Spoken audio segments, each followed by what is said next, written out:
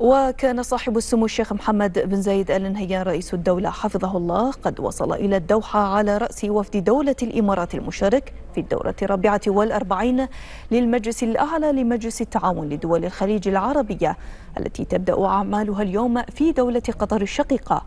وكان صاحب السمو الشيخ تميم بن حمد الثاني أمير دولة قطر في مقدمة مستقبل سموه والوفد المرافق لدى وصوله إلى مطار حمد الدولي.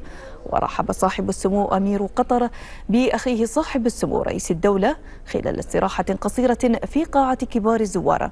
وتبادل الأحاديث الأخوية الودية ويرافق صاحب السمو رئيس الدولة وفد رسمي يضم كل من سمو الشيخ منصور بن زايد ال نهيان نائب رئيس الدولة نائب رئيس مجلس الوزراء.